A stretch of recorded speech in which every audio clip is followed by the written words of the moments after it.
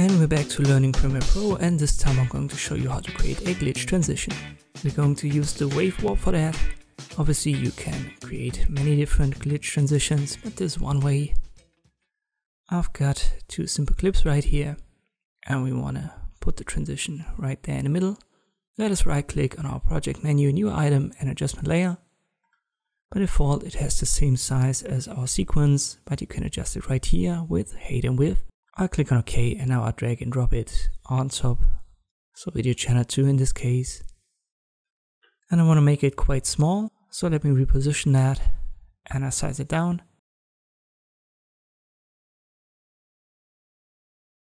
You want to have only like a split second, No, we can adjust that later on anyway. Now let us go to the effects panel and type in wave warp and then drag and drop it on the adjustment layer. And here it is in effect controls. If you can't see that menu, go to window and open it by clicking on effect controls. And here you also find the effects menu if you can't see that either. So our adjustment layer is activated. Therefore I can see the wave warp right here in effect controls and I can adjust it. Let us adjust the direction first. For the wave type we've got lots of defaults. We want to use noise in this case. And then play around with the height and width. And you can also play around with wave speed. But best way to evaluate how much you need of that is to just roll the clip and then play around with it. So as long as it's static, you don't see that much. There's another drop down for pinning. For noise, it makes a difference, you can see that, but it becomes more obvious if I use a different wave type. Let me use a sine, and now you see these black areas. By using the pinning all edges, you can get rid of that. For noise, we don't need it, so I'll just keep it. Keep the anti-aliasing low as long as you adjust it. And um, when you export it and you need a higher quality, just switch it to high before you export it. But this is basically it.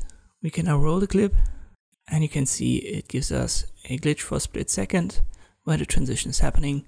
Additionally, you might want to use opacity. So it's the opacity of the adjustment layer and then use the drop down for the blending mode. They all add a different flavor to it, but screen in this example works well because we can see the two clips below better. And once you've got what you want, you may want to return to the wave warp and readjust height width, the direction and maybe even the speed.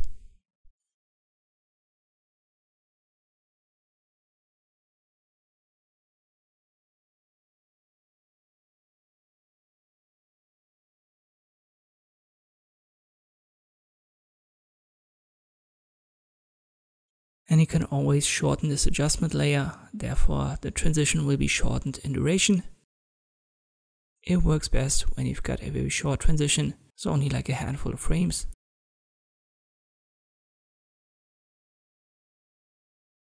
And that's exactly what we wanted, a simple wave warp glitch transition in Premiere Pro. I hope this video was helpful, thanks for watching and I'll see you next time.